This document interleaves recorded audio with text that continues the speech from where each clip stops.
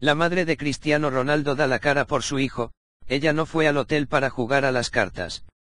Dolores Aveiro asegura que su hijo no es culpable de la supuesta violación por la que está acusado. Si algo destaca de Dolores Aveiro es el cariño y apoyo que siempre ha mostrado a su hijo.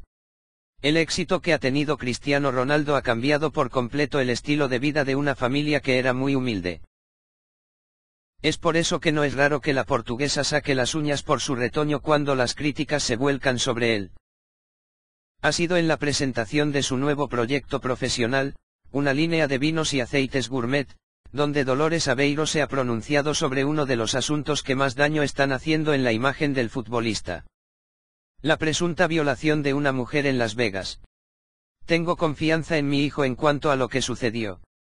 Cuando ella fue allí no fue para jugar a las cartas. Era para hacer algo, declara Dolores Aveiro. Cristiano Ronaldo lo niega todo.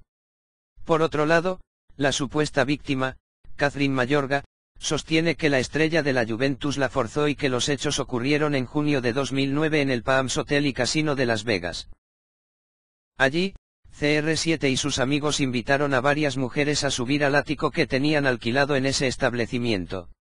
Según Mayorga, Cristiano Ronaldo le pidió sexo oral y después la violó en la habitación. El futbolista niega rotundamente todas las acusaciones que Mayorga ha emprendido contra él. Acaba de celebrar su 34 cumpleaños, y empieza el año de manera complicada.